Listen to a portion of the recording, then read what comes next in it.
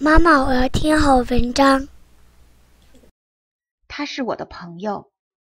我听说过这样一件事：战争时期，有一天，几发炮弹落在一所孤儿院里，两名儿童当场被炸死，还有几名儿童受了伤，其中有个小姑娘。附近医院的医生和护士接到消息，带着救护用品迅速赶到了。经过查看，他们确认这个小姑娘伤得最重。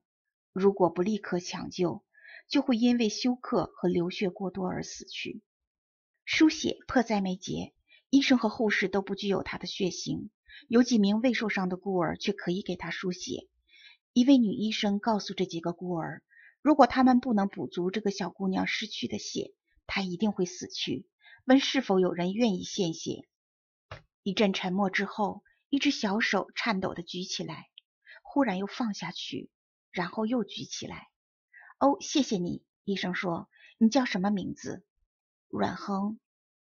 叫阮恒的小男孩很快地躺在草垫上，他的胳膊用酒精擦拭后，一根针扎进他的血管。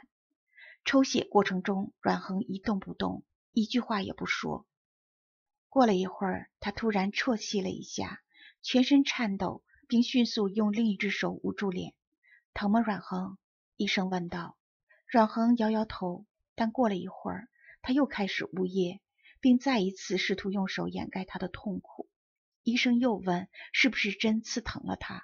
他又摇了摇头。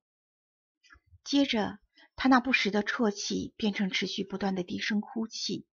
他眼睛紧闭着，用牙咬着自己的小拳头，想竭力制止抽泣。医生问他为什么这样哭，然后用轻柔的声音安慰他。男孩立刻停止了哭泣，好像刚才什么事也没有发生一样。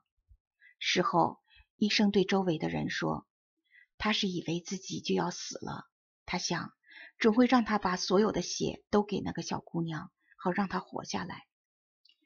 但是他为什么愿意这样做呢？”有人问。医生转过身，向那个小男孩提出同样的问题。小男孩回答说：“他是我的朋友。”